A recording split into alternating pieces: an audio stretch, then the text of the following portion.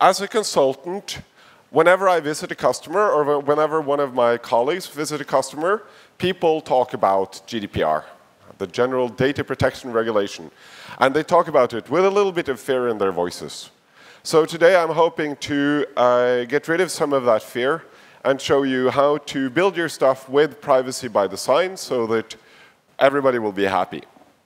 My name is Johannes Brodwall. I work for a consultancy in Norway, Sopra Steria, and um, uh, we have uh, uh, many uh, good customers and stuff, and we hire. So uh, if you're interested in a job, let me know. Uh, when we, we, visit our customer, uh, everybody today has a GDPR strategy. And uh, probably the most common GDPR strategy is uh, to have long meetings, uh, write big documents, uh, write long lists of tasks that somebody wants to do, and hope that somebody does those tasks. And I think that pretty much is the most adopted strategy for dealing with the GDPR. Uh, another very common strategy for dealing with the GDPR is to express a bit of concern with the ramification while you're not actually sure what to do about it. So uh, we will um, uh, uh try and get over these strategies and do something better. So as um, uh, pretty much everybody here, including myself, is a programmer, and the first thing I will cover is why should we as programmers care about GDPR. The second thing I will talk about is why should we as human beings, and I see that most of you guys in the audience are humans as well, so that's, that's also relevant to you, why should everybody care about uh, privacy? And the third uh, part of the talk, I will help you read the GDPR. As, as we uh, looked at before the talk, uh, actually reading the text is a little bit hard. So I will start with uh, a story from uh, the conferences uh, that I, uh, conference that I organized. In addition to being a consultant, I, uh, I lead a conference called Mobile Era. We ha had our um, yearly conference two weeks ago in Oslo. And to celebrate the completion of our conference, we wanted all of the crew to come to dinner, right? So we send out a invitation form where I can say if there's anything uh, that I cannot eat or drink, and uh, uh, then we can find out who's coming and what we're going to order. Uh, and um, uh, people put in uh, their preferences, but wait a minute. Some of the data that we collect in this form is personal data. My friend Ola here, he's a vegetarian. Is that personal data? So the GDPR applies to all uh, processing of personal data by automated means. And personal data is any data that is related to an identifiable person. So the fact that Ola is a vegetarian is personal data. Okay. Uh, now, not all information is created the same. Uh, Ali says that he doesn't eat pork. What do you guys think you know about Ali now? He's a Muslim. And uh, processing of data about people's religious beliefs is a special category of personal data, which requires additional concern when you're processing data. There are more kinds of special categories of personal data that you can end up collecting. Medical information is a special category of personal data. The fact that Kari is allergic to shellfish is a special category of personal data. Okay, so we have personal data. We have data about people's uh, personal, uh, uh, about people's religious belief. And now what do we do?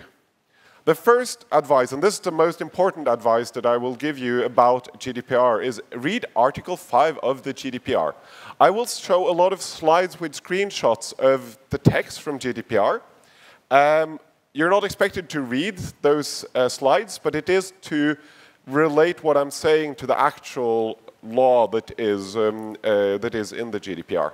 So you don't actually have to read this, but uh, it's interesting to know that it exists. Uh, and Article 5 gives sort of the overview of what uh, you're required to do if you're processing personal data. First, the processing has to be lawful. You have to have a legal reason for using it. It has to be used for a specific purpose. uh, and only be used for that specific purpose. You have to collect no more data than what's necessary uh, for that purpose. You have to make sure that the data is correct, accurate. Uh, you have to delete the data when you no longer need it. And you have to take steps to keep the data secure. This is not unreasonable stuff, but it's a list of things we have to do. Uh, secondly, you have to give uh, the data subject, that is the person that you're collecting data about, you have to let them know that you're collecting data about them. And you have to let them know how to exercise their rights to that data. Because data about you is your data, so you have rights to that data. Uh, and your uh, information to the people that uh, you're collecting data about has to be transparent, available. Uh, it has to be possible to read. If you're, if you're targeting children in particular, it has to be possible to understand for children of the age group that you're targeting. So that can be kind of challenging, and it has to be concise. So it has to be complete and concise. That's always nice. Then you have to think about if you're transporting this data outside of EU. Now, Google doesn't necessarily tell you where it stores the data. So I use Google Forms to collect this data. But does uh, Google store this in the EU? And is it OK that they don't store it in the EU? So we have some concerns. In short, we don't quite know what to do. So let's take a deep breath. And now the mic is going to act up, I think. and let's see if we can fix this. First, we need to know the legal basis for our processing. What's the reason that we're allowed to process this? There are six reasons, and uh, they're basically either because the user lets us, that is consent, uh, or because we're required to by contract, by law, or to protect some uh, person's vital interest. In our case, um, we want to use the consent of the user, so which means that we want to ask the user for permission to use their data. And consent is uh, the best kind of uh, lawfulness of processing because it keeps the user in control. So it is, when you can use consent, it is better for the user. So we want to do that. I showed you uh, the requirements for the information we give to the user. Now, what's nice is that right after Article 12, which states these requirements, is Article 13. And Article 13 says exactly what do you need to tell the user. You need to tell them uh, who are you that collects the data, uh, why are you collecting the data, who's going to get access to the data, how long will you keep the data, and you have to key, uh, tell the user how they can exercise their right to see the data and delete the data. So in the case of our dinner uh, form, we add a text to say something like, uh, uh, we used information to place the order. Uh, the information will only be accessed by the party committee. And the information will be deleted after we place the order. We also add a consent checkbox to this uh, form just to let people uh, express that, uh, yes, they agree that we collect this data. now, I'm not a lawyer. And don't use my text as legal advice. If, if you're going to use a, a, if you're going to give a privacy statement, you probably want to uh, hear with someone who's professional about that. So uh, by giving a little bit more information to the user, we have solved uh, both the problem of uh, lawful processing and the problem of uh, what information to give to the user. Now, this question of transferring to the outside of the EU. So in general, transferring data outside the EU should not happen unless there is a reason you can do it. One such reason is if the country that you're transferring it to has adequate uh, protections for people's privacy. And it's actually stated in Article uh, 45 uh, that this includes uh, respect for the rule of law, for human rights, and privacy regulations in that country. That, in my opinion, pretty much rules out the United States, who are a rogue nation when it comes to privacy. It also rules out China. So we cannot use this basis for processing. However, uh, a company, a processor, which is Google's role in this, can also provide adequate um, safeguards to make sure that they're protecting the data correctly. Uh, and Google is using what's called binding corporate rules, which means that they say they're going to only process the data as instructed by uh, the controller of the data, so that would be me as the owner of this form. They're going to uh, respect the privacy laws of the EU, European Union, and they are going to cooperate with the uh, authorities in the relevant countries. Uh, so uh, now, of course, you can ask, have, do you think that a company like Google or Microsoft or Amazon has thought about this? Do you think that they're concerned about this? Of course they are. So in the term, in uh, uh, the example of Google that we're using here, they have uh, very good information about how they are uh, respecting uh, the GDPR. In particular, uh, they have the description of their data protection their data processing agreement, which tells uh, you that they will only process the data as instructed by you, and they will cooperate with the authorities in terms of privacy. So that wasn't so bad, was it? So now we know why we're allowed to process the data. We've given the user sufficient information, and we've thought about why are we storing this on Google servers. There's one more thing that you want to be concerned about, which is data protection by design and default, which is to say um, you're actually required by law to have good uh, guidelines or follow good guidelines for how you're processing personal data. Um, I was introduced to those guidelines when I uh, actually helped out the Norwegian Data Protection Authority with writing some new guidelines on this. So these things are pretty updated. And one example of such guideline would be instead of, uh, so the, the example that's often used is that, let's say you're making a doctor's appointment, instead of having a, uh, a text field where you can put in what is your, what do you need, uh, you can have a drop-down list. Because with a drop-down list, you don't accidentally put in personal information that you didn't intend to put in. And in the case of our um, dinner, we can replace uh, the dietary restriction with the menu. And the advantage of this is that then everybody gets really excited about the dinner because this is a really good menu. And also on the menu, uh, we have a really good uh, smoked bean burger, which is a vegetarian option. And this burger is actually one of my favorite dishes. So even though I'm not a vegetarian, and even though I'm not a Muslim, I might uh, choose this uh, non-pork vegetarian option. So the fact that I choose this option doesn't tell you anything about me.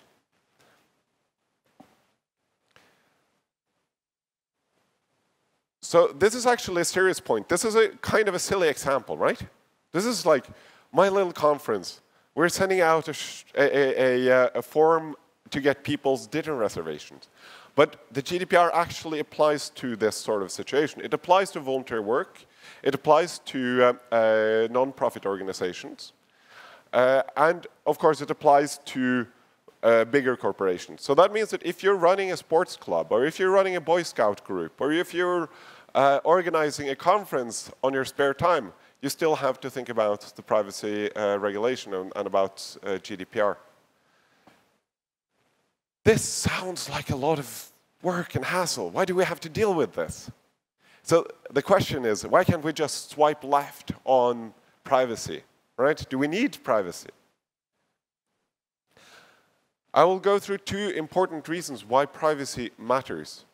The first one is um, kind of just plain business, which is that when we have uniform uh, laws, it makes for better trade. So one of the goals of the GDPR, which is stated in the recitals, which are the, uh, the articles before the articles, the, the, the, the stuff that you started reading.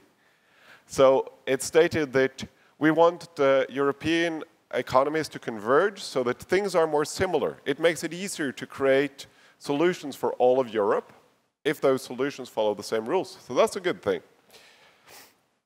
Um, and this removes the obstacles to uh, transporting uh, personal data inside of the EU and inside of the region that, that protects people's privacy. This is actually a, a point that has an effect. Uh, ThoughtWorks, in their technology radar, I think starting 2015, uh, recognizes that the European Union has the most progressive privacy laws. And because of that, it's smart to put your data on uh, data centers in the EU. That's a good thing for us Europeans. That it's um, easier for you to put all the data in EU, on, on EU data centers, rather than putting some in China or the United States. So if you're running a data center, that's good for you. But I think the mo more important reason is that data protection is a human right. Um, and currently, it is not being respected. So there is actually a real need to change when you see what kind of consequences lack of data protection can have. GDPR does lead uh, companies to change, and so it was very, uh, a very positive news, uh, news at the beginning of the year uh, when Facebook announces that they will have a new uh, privacy hub as a result of the GDPR. So that means that they're actually trying to make better products for the users because of the GDPR. So that's a very good thing that Facebook did. And then it was later overshadowed by rather bad things that Facebook did, which we will get back to. There are other companies that do bad things also, to not be negative towards Facebook. One of the largest scandals in uh, last year was uh, a company called Equifax. They had a data breach that exposed uh, the social security numbers and credit rating information of about 100 million Americans. That's a lot of sensitive data that's being uh, made available to those that shouldn't have it. Another company that had a uh, similar scandal, that, but was uh, closer to home because it also affected European users, was Uber, who leaked, I think, 20 million, or who exposed uh, the personal data for 20 million drivers and riders, which probably includes things like where have you, drive, where have you gone on a um, Uber, and your patterns of movements can be pretty sensitive if if, you, if, the, if you're concerned about them, you, they can be pretty sensitive. Now, the big problem with Uber in this case is that they kept this a secret. They knew about it for close to a year, and they kept it a secret. The idea behind uh, GDPR, it's not that we expect people to do privacy perfectly. It's more like in accounting. If, you if you ever come into an accounting system or an organization, no organization has a perfect account. No organization has done everything correct when it comes to accounting. The question is not whether you've done everything correct. The, the question is, have you, do you have any material uh, problems? Do you have any serious problems? Are those problems because of accident, or are they because you're trying to do bad stuff? And are you trying to keep it secret? So that's what we want to go after. And in terms of accounting, when you're not uh, applying, when you're not doing accounting right, then a company like Enron goes from being a leader in their field to being a show on Broadway that talks about how bad they were doing. And when it comes to companies that really violate people's personal information, we want them to go out of business and end up as a Broadway show if they're doing it in a major way, if they're doing it in bad faith, and if they're keeping it secret. So let's talk a little bit about Facebook. Um, the Cambridge Analytica scandal, most people have heard of this scandal, uh, but I think it's useful to go through exactly what happened, at, least as I understand it. So Facebook um, normally keeps your data fairly private, but they give uh, special applications some special permissions. One such application was uh, called uh, This is Your Digital Life, developed by a researcher, Alexander Kogan, in Cambridge. That's where the Cambridge name came from. And this uh, um, app got the permission to harvest not only the data of the users uh, who used the site, but also the friends of the users that used the site. So about 100,000 people gave their consent to This is Your Digital Life to share their personal data and the personal data of their friends. The result is that um, Alexander Kogan collected uh, data about, about 100 million Facebook users. This is data about what you like, where you live, who your friends are. Uh, these are your pictures. And this information uh, was, uh, uh, so Alexander Kogan then shared this with the company, Cambridge Analytica, which is a political uh, consultancy. And they used this information to micro-target voters in the Brexit election and in the presidential election of 2016. The way that that works is that they can see you live in a swing district in terms of the United States presidential election, a, a place where your vote matters the most, and you have a psychological profile that we can determine from what you like and what you share. So we give you an ad which is targeted at your email address because they know the email address. They can target it directly at you that pushes you to vote in the way that they want because you live in a particular place. And it's believed that that um, information and that capability influenced the rather disastrous elections of Brexit and the United States presidential election. So, so we've got Facebook to thank for this mess that we're in right now privacy does have real consequences. In the, United, in the European Union, uh, we're trying to protect people's privacy. There are other philosophies as well. So in China, there is a system that they call uh, the social credit system. Let's see if I can get it up here. It's a little bit, there we go. Dear passengers, people who travel without tickets or behave disorderly or smoke in public areas will be punished according to regulations, and the behavior will be recorded in the individual credit information system.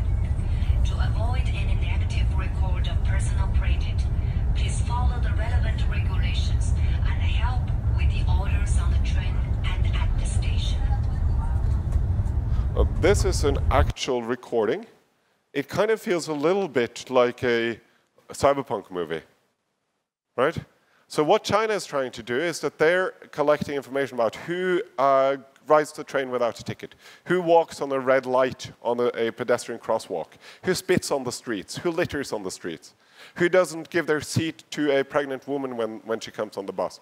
And we all agree that we would like people not to litter, we would like people not to, um, uh, to, to uh, ride the subway without a ticket. But then they collect this information, and if you're deemed to have a low social credit, you will be restricted in terms of what jobs you can have, what housing you can get, you, how you can travel.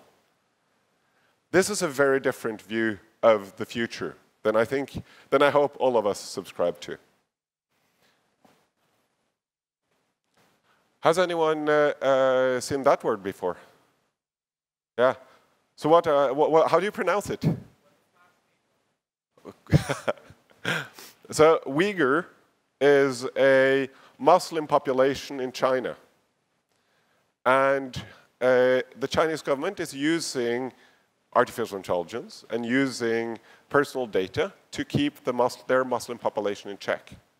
This is why it's important to protect people's religious uh, beliefs. I don't, I don't think and I don't hope China will go there, but it can go really, really wrong. We've been down this path before, and I don't, I don't think China's going to be there, but they might get there. Does anyone know what this is? So what's that? Those are called concentration camp numbers. For those that didn't see, uh, uh, get it the first time, this is concentration camp numbers.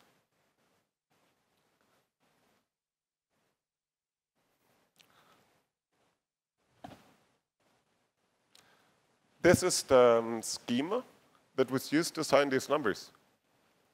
This is a primary key. This is a primary key to this, um, this card. This is a punch card. Uh, this is um, the Deutsche Hollerith um, Maschinengemeinschaft tab Tabulator D11 machine, which was used to process these punch cards. What happened during World War II could not have happened without information processing. It could not have happened without the use of automated processing of personal data. This is why it's important. So what will we look back upon in 40 years from now?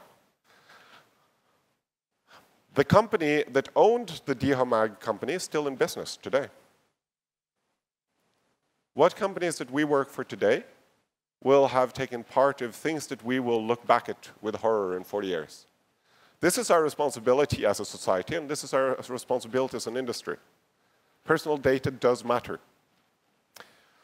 All right, so I think I need a little bit of a breathe, breathing now. This is uh, heavy stuff. I'm, I, am sorry that I'm laying this sort of heavy stuff on you. So let's get back to the light, lighter stuff, the general data protection regulation. All right. So now that we've uh, uh, started with that, now we can go and look at uh, uh all of this easy stuff of uh, how to actually protect the data. So what does the general data protection regulation mean? What is a regulation in, in this sense? Um, regulation in this term is uh, uh, in the European Union. It means a law that applies equally to all member countries in the EU. So that means that uh, the rules in this uh, regulation applies to all of uh, EU members. Um, there aren't that many examples of regulation that have uh, been passed in the EU. This is a page on Wikipedia that lists, uh, I think, about 40 regulations, and most of them are pretty narrow. But I think we like some of them as well. Uh, so you, you guys, uh, so I'm actually controlling the slides from here. That's why I have this. Now, I'm from Norway, uh, and, but I can use this phone uh, with the same rates in, in Lithuania. roam like home all of the telecoms were uh, so proud of how customer friendly they were. That was actually EU regulation.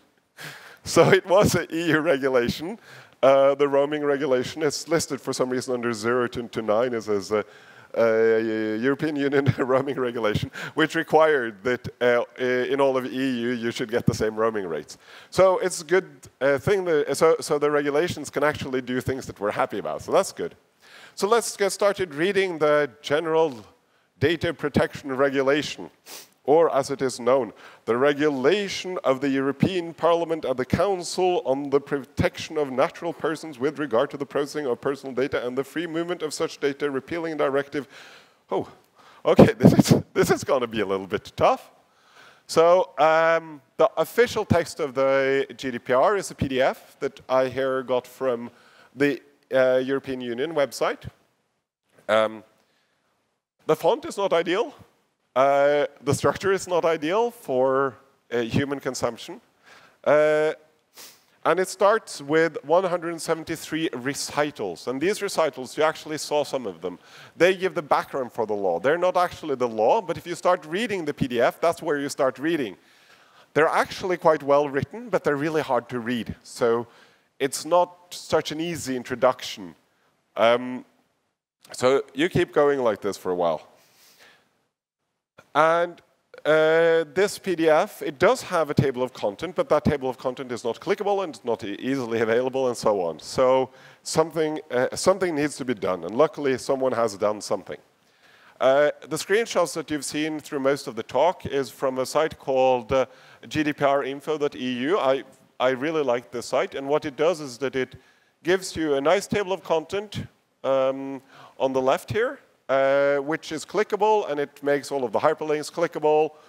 Uh, so it actually makes it easy to read the regulation. It's the same text as in the PDF, it's just organized more friendly.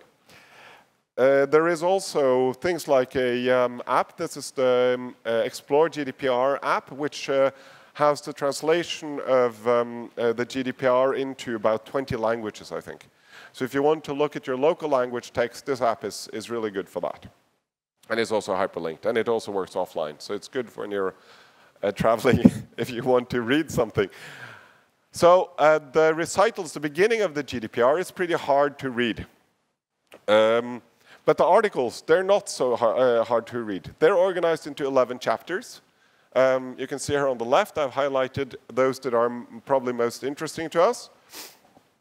Um, and we will cover the, the chapter saying the principles of uh, processing personal data, the rights of the data subject, that is the person that you're processing the data for, and your responsibilities when you're processing personal data. Those are the most interesting for developers to know about.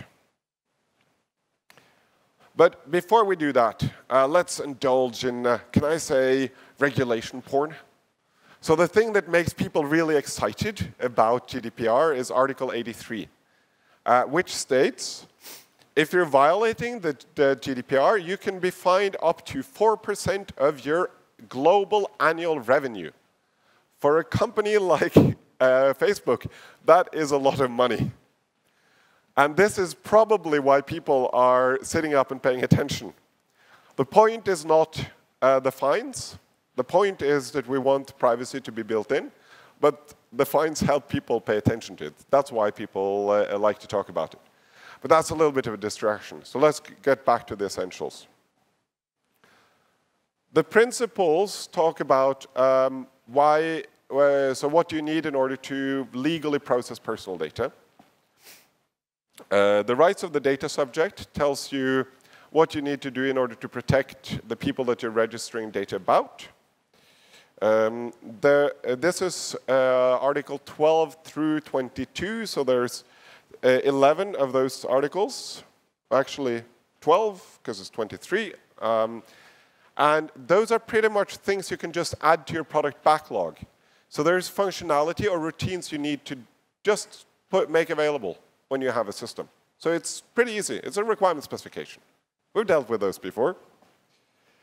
Uh, and uh, your, um, uh, your, uh, the principle for processing, the, uh, your uh, requirements as a data processor, that's pretty much like your non-functional requirements. How do you need to manage the data and keep it secure? So those are the three areas. So in short, um, let's review. The overview of GDPR is Article 5, so it's on the left there the principle regarding pro processing of personal data. You have to process it lawfully. You have to uh, do it for a specified purpose. Uh, you have to only collect data uh, that's needed for that purpose. You have to make sure the data is updated, uh, that uh, you delete it when you no longer need it, and that it's kept secure. Those are, that's pretty much what you need to do. That's not so hard. This is things that we could, can think about, right? So three things. Establish the lawfulness of the processing. Why are we allowed to process it? Um, facilitate the rights of the, the data subject, making sure people can control their own data, and processing the data responsibly. That's, that's our main concern when we're developing systems with privacy by design. We looked a little bit about, uh, at uh, Article 6, which comes after Article 5. And Article 6 uh, says there are six, uh, um, six reasons that you can use to process personal data. You can get people's consent to process their data. It can be required to deliver a contract that, you're, that they've entered into. It can be um, required to comply with law, a national or EU law. It can be uh, because it's a vital interest of humans, somebody can die if you don't process this data. It can be uh, because it's uh, a sort of a national interest, or it can be because you really feel like you have to. It's actually th this last one here, um, uh, point F, it says the legitimate interest of the controllers is like, yeah, we really, really feel like we have to do it. Uh, there are some limitations to, to how you're using that, so you don't want to do that. The most interesting uh, version is that of consent. Uh, it says over here, Article 7 describes consent. So when you have all of these yes, I agree buttons, you, the law actually states what is needed for that to be legally obtained. So first, it has to be understandable. So the long text where like, I agree to this, I agree to that, they can take my kidney, they can take my firstborn child, all of those, that's not actually legally valid. That's not a legally obtained consent. It has to be um, understandable. The um, data subject has to be able to withdraw their consent. So you can say, yes, I agree today, but I don't agree tomorrow.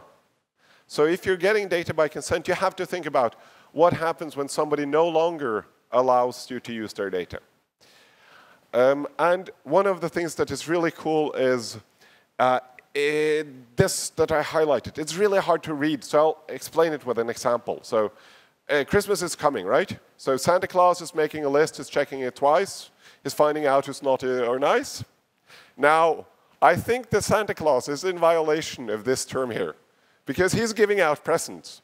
But he's saying that he's not giving you a present unless you uh, consent to him uh, getting your naughtiness data. And those are unrelated services. He doesn't need your Nautilus data to give you your present. So he probably does not have a legally obtained consent to, um, to get your personal data. Um, I, have asked uh, a few lawyers about whether this is a correct interpretation. I'm still waiting for an answer. So that's a little bit about uh, consent. Now, uh, the rights of the data subject. So when you collect people's personal data, you have to uh, give them certain uh, rights.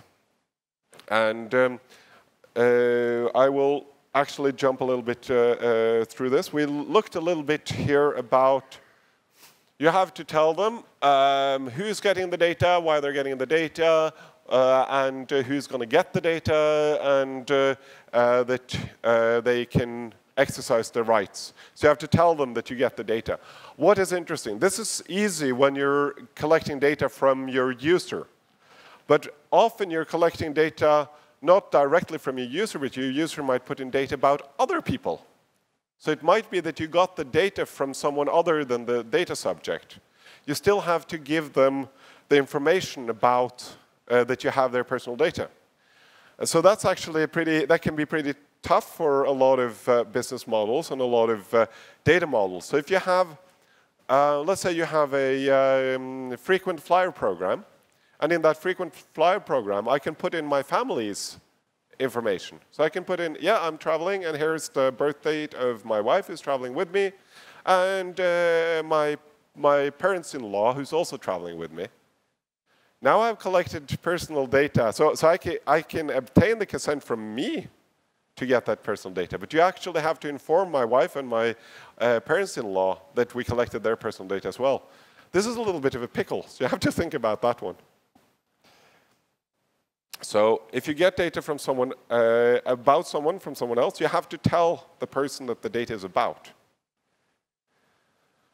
Um, here, Article 15 says, right to access by the data subject. If uh, I store data about you, you have the right to know what I'm storing about you. This has been the case in the, uh, in the old data protection directive for a while, but what's pretty cool about it is that you now also have the right to data portability which means that I can go to someone who stores data about me and I say, I want this data on a uh, structured, commonly used machine-readable format. Thank you.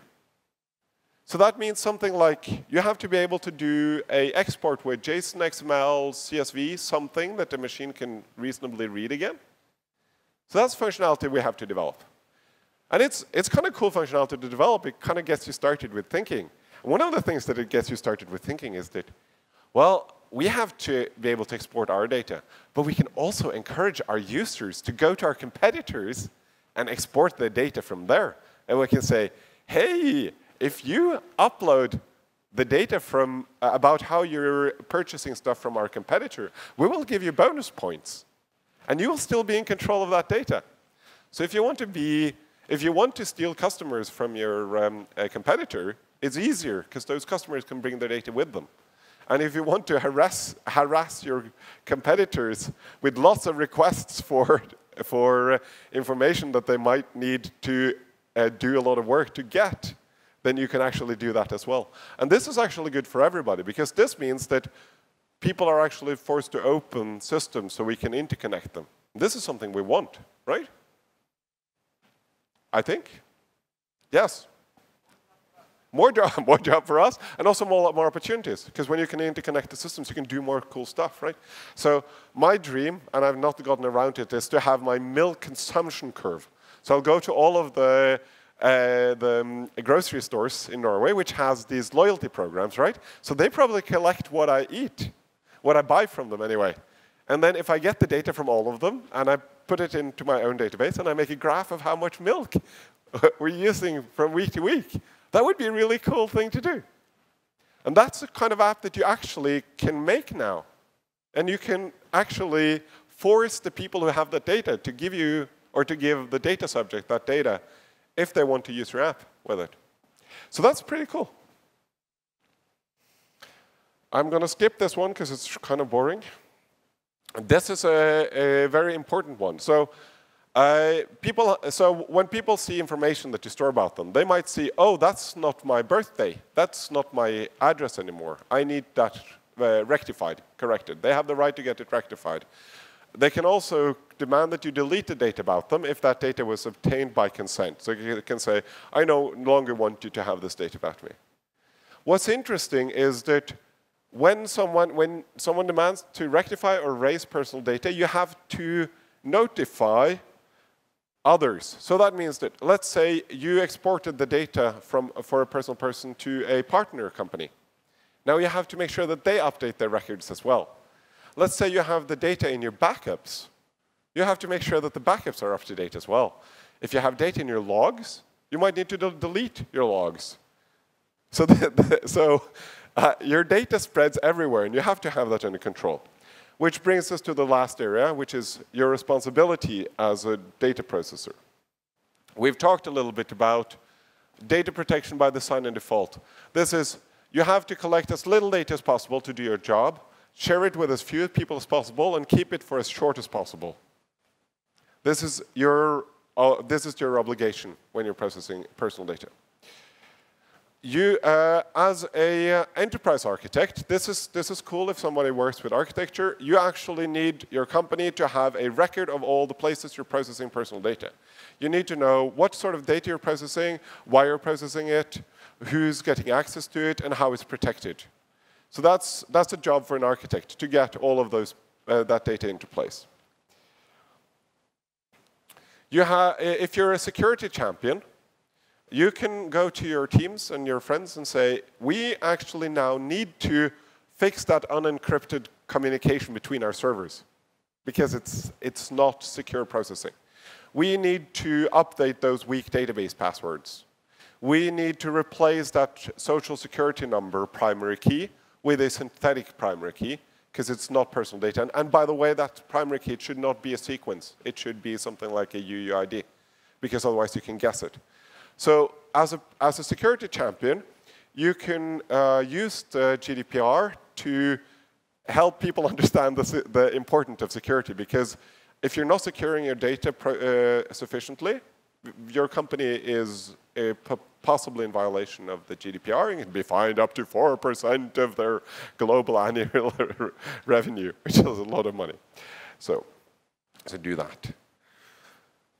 Um, if you work in ops, um, or you're related to ops, you actually have to notify uh, data protection authorities if there is a data breach, and you have to notify them within 72 hours. 72 hours to notify someone that, that there was an incident. So you, you have to have measures to detect that something happened, and you have to decide how to report it. Uh, 72 hours, that's plenty of time if you know what you're doing, if you have your routines in place. But if you haven't thought of it, and then something happens, now you've got 72 hours, that's not the situation you want to be in. So if you're working in ops, make sure that you have updated routines. What should we do if we did, or how should we detect a data breach, and what should we do if we detect a data breach? That gives us a little bit of a summary. So you need to get uh, a legal basis for processing personal data. You need to, you probably want to get people's consent because that gives them the most freedom. Uh, but that consent has to be freely given, understandable, and revocable. They have to be able to say, I no longer consent. Uh, the subject, the person that the data is about, has to be informed, and they have to, you have to facilitate their uh, request to uh, exercise their uh, rights. And that's also if you collected the data from someone other than subject. So if someone puts in data about someone else, you have to inform the person that the data is about. You have to have security measures. You have to minimize the data. You have to think about what to do in case of a data breach. And you have to keep a record of all your processing of personal data. That's, that's, I think, the most important things you need to do as a developer or architect in order to have a personal system. In short, if you use the data as you think your users want and you think they expect, you're probably going to be fine. If your users come to me and say, you're doing what with my data? You're probably also in violation of the, the rules. And it's important to remember, as long as we've done processing of personal data with machines, people have gotten hurt. So this stuff matters. With Article 83, it actually hurts for companies to violate privacy regulations, so people pay attention. And because the regulation is uniform across of the European Union, uh, it means we have the potential to adopt best practices, to adopt products that help us, that, to adopt common uh, ways of uh, expressing consents and expressing how you're doing this. So this is a good basis for building as a field and building um, products. I hope every developer uh, goes and look at GDPR Article 5. So you can go to gdprinfo.eu, just read Article 5. It's a very good uh, overview of what you need to know, and it gives you an introduction there. So actually, I would rather that you went and read Article 5 than listen to my talk.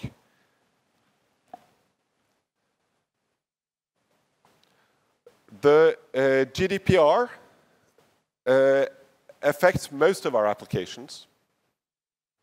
Privacy uh, concerns all of us. If you know how to read them, reading the regulations is pretty easy.